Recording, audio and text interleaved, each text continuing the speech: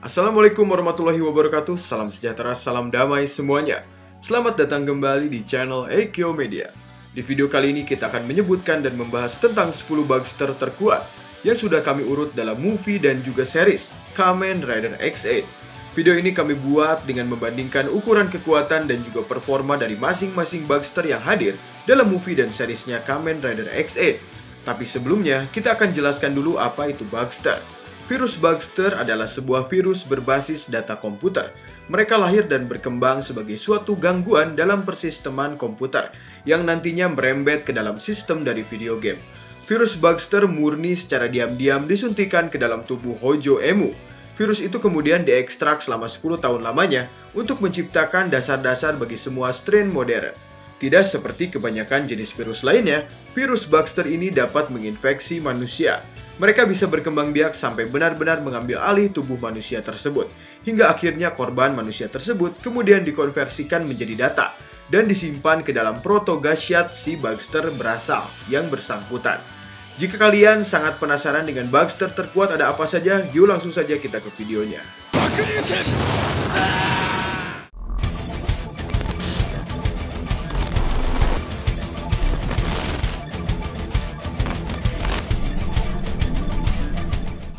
Sepuluh Varnier Bugster Level 30 Di nomor 10 ini ada Bugster Varnier Level 30 Sebuah karakter boss dalam game yang dibuat oleh Genmu Corporation bos dari game Jet Combat. Karakter Varnier ini tercipta oleh tangan dinginnya dari Dan Kuroto. Karakter Varnier adalah sebuah bugster yang terhubung jelas dengan kekacauan data komputer di awal tahun 2000. Lima tahun berlalu setelah kejadian dari Zero Days, Varnier akhirnya muncul dan sempat bertarung singkat dengan Kamen Rider Brave Tidal Fantasy level 50.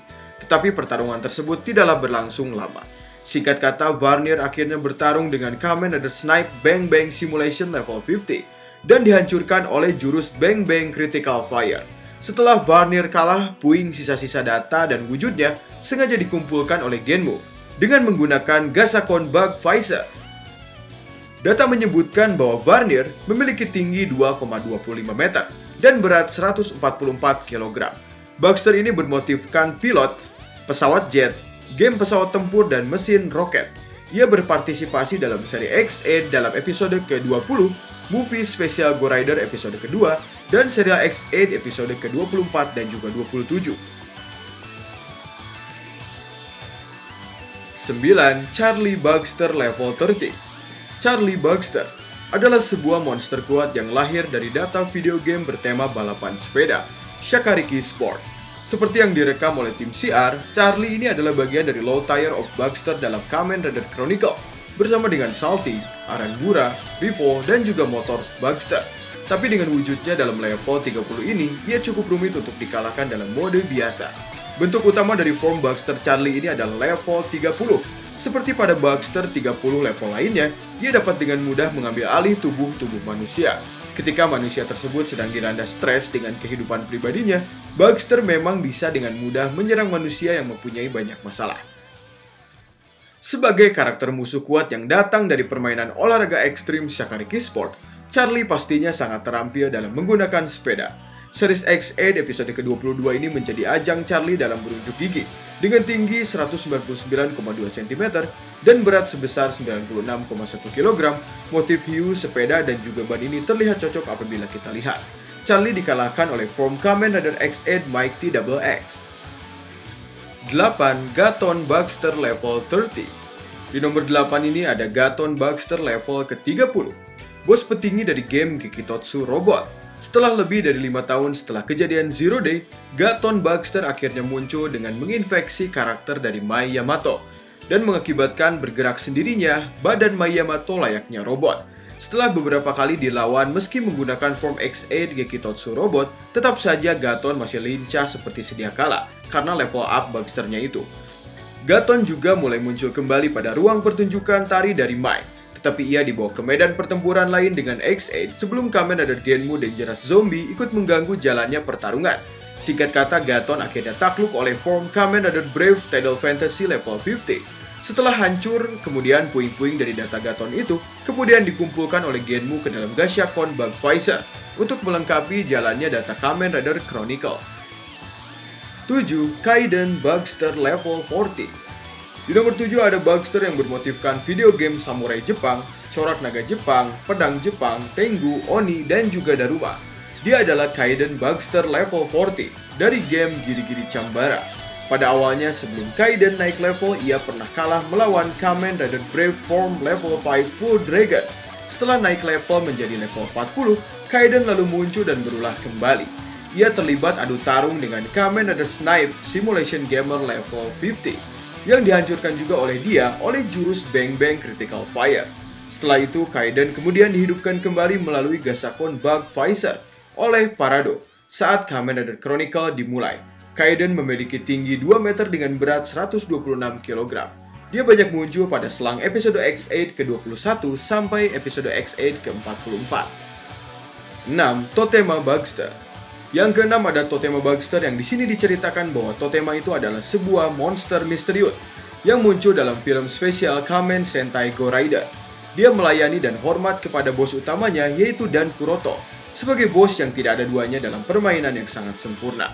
Dengan motif form totem pole, tanda silang, sayap malaikat penjaga, sekaligus hal yang berhubungan dengan game kematian.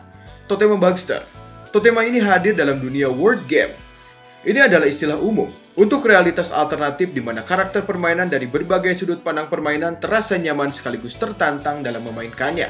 Dengan tinggi 225,5 cm dan juga berat 196 kg, Totema hadir dalam film Kamen Sentai Go Rider episode kedua dan 3. Form Totema ini bisa bergabung dengan form dari Kamen Rider Genmu, yaitu Genmu Dangerous Zombie Totema Form, dengan kekuatan pukulan dan tendangan sekuat 96,9 ton. 5. Lovelyka Bugster Di nomor kelima ini ada Lovelyka Bugster alias Ren Amagasaki.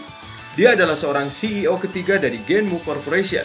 Identitas sejatinya adalah Lovelyka Bugster dari game Tokimeki Crisis. Ren ini mentransformasikan dirinya dengan menggunakan sebuah Gashiakon Bug Visor. Seperti halnya yang dicatat oleh para petugas dari CR, Lovelyka adalah bagian dari High Tier of Bugster di dalam Kamen Rider Chronicle bersama dengan Paradox dan juga Grapaito. Jadi ia memang termasuk dalam bugster petinggi yang kuat. Dengan menggunakan Gashiakon Bug Visor ini, ia dapat mengambil bentuk monster default ini, meskipun tidak seperti Grapaito. Level Lovelyka tidak pernah diidentifikasi berapa, meskipun ia diamati sebagai lawan dari level 50-nya Kamen Rider. Tapi ia dipandang juga oleh CR bahwa Lovelyka setara dengan level 99-nya Bugster, Grapaito, dan juga Paradox. 4. Grapaito Dia adalah salah satu antagonis utama dalam serial Kamen Rider X8. Ia adalah seorang eksekutif bugster, dan juga tujuan utama dari dirinya adalah untuk memusnahkan umat manusia.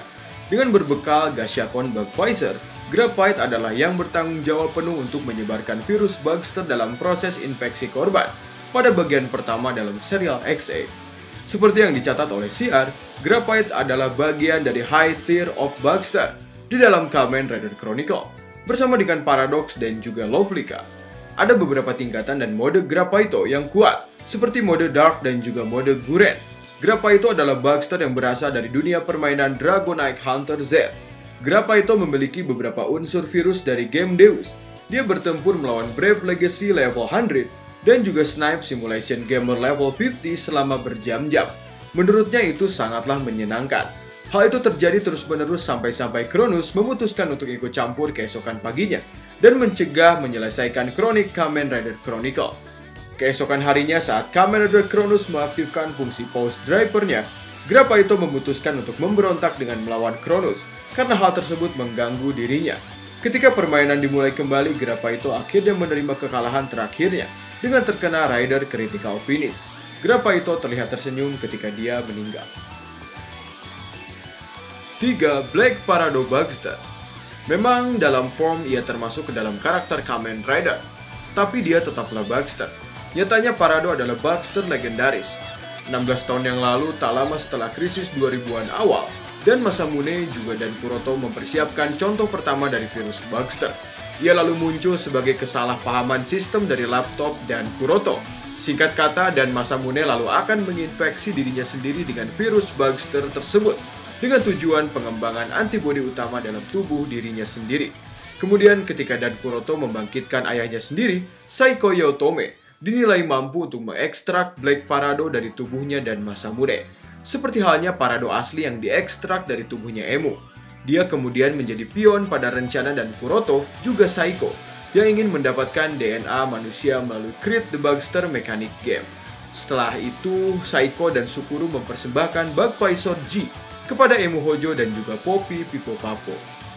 Black Parado itu bisa berubah menjadi Kamen Rider Another Paradox dengan kekuatan di angka 90 ton untuk kekuatan pukulan dan juga tendangan. 2. Game Deus Machina Bugster Di nomor 2 ada Johnny Maxima, seorang CEO dari Machina Vision yang mempunyai kontrak kerjasama dengan Dan Masamune. Maxima akan menerima beberapa permintaan dari Masamune Dan untuk Machina Vision dalam kerjasamanya dengan Genmu Corporation di seluruh dunia untuk Kamen Rider Chronicle pastinya ya. Hingga akhirnya hubungan mereka berdua tidaklah berjalan secara harmonis, bahkan secara bisnis. Sederhananya ini adalah bentuk merah dari Bugster Game Deus. Ia dibandel dengan kekuatan pedang yang memancarkan tembakan api. Ada perisai, ada juga gelombang kejut. Form dari Game Deus ini terbukti sangat tangguh meski melawan beberapa rider sekaligus. Selain mode biasa, Game Deus Machina ini memiliki bentuk form raksasa, yakni form Super Game Deus Machina dengan kekuatan semburan api biru dan ala bola api yang keluar dari naga. Tekanan angin yang keluar dapat membentuk sebuah kubah energi yang dapat mengurangi gravitasi. Di nomor satu alias pertama ada Game Deus. Versi original dari Game Deus ini ada di nomor pertama. Dia adalah yang terkuat kali ini. Dan Kuroto menyebut Bugster ini sebagai Game Deus yang bisa segalanya. Bahkan lebih kuat daripada setiap bos judul game yang coba untuk digabung, kemudian dilawankan pada Game Deus tetap saja game Deus lebih superpower. Game Deus ini adalah bos terakhir dari rangkaian game Kamen Rider Chronicle. Sesuai aturan permainan, raid player yang telah mengalahkan dan mengklaim Gasa Tropis dan 13 bos Bugster akan dapat menantang game Deus sebagai bos terakhir dalam permainan hidup dan mati ini. Meski dan Masamune mengambil beberapa serapan form dari game Deus, untungnya Laser Turbo dan juga Genmu mampu membuat vaksin yang khusus untuk virus game Deus dan juga berhasil. Mereka menyuntikkan data yang tepat ke dalam sistem. Tapi hasilnya dan Masamune sepenuhnya berasimilasi dengan game Deus, dan ia menjadi Bugstar. Genmu tidak tinggal diam. Ia datang dan coba untuk melakukan sesuatu. Tetapi di lain sisi pengorbanan dari Poppy untuk membentengi antivirus dahsyat miliknya Dr. Mike DX yang digunakan oleh Parad juga dan untuk memaksa Game Deus keluar dari tubuh Masamune berakhir dengan musnahnya jiwa mereka berdua. Namun karena usaha itulah proses misi berjalan juga. Seperti yang sudah disinggung tadi, Game Deus merupakan musuh Bugster yang paling kuat dalam serialnya X8. Bahkan kerjasama antara form Kamen Rider X8 Hyper Muteki dan juga Paradox Level 99 mengalami kesulitan untuk melawannya. Sementara sebelumnya, kombinasi yang sama mampu mengalahkan Kamen Rider Cronus dengan sangat mudahnya. Power dari Game Deus ini setara dengan 50 kali dari Rider Gouge yang normal. Belum lagi ada bentuk super dari Game Deus yang berevolusi menjadi bentuk besar setelah muncul dari form Game Deus Kronos. Kekuatannya menyaingi dan sedikit lebih besar dari Kamen Rider X8 Hyper Muteki. Dan life point-nya juga meningkat menjadi 999 kali lebih tinggi dari Rider Gouge biasa. Mungkin cukup segitu saja video untuk kali ini. Mohon maaf apabila ada list yang belum kami sebutkan di sini. Silakan apabila kalian ingin request sesuatu untuk kami bahas, silakan juga untuk ditulis di kolom komentar. Tidak lupa juga kami ingatkan untuk kalian jangan lupa klik like dan juga subscribe pada channel Ekyo Media Jangan lupa untuk like fanpage Facebook dan juga follow Instagram dari kami. Info update mengenai berita all about Tokusatsu juga ada pada website kami. Linknya ada di banner dan juga ada di deskripsi pada video. Terus bantu kami untuk membuat konten-konten berkualitas. Akhir kata, salam pecinta Tokusatsu, sampai jumpa di video-video berikutnya. Assalamualaikum.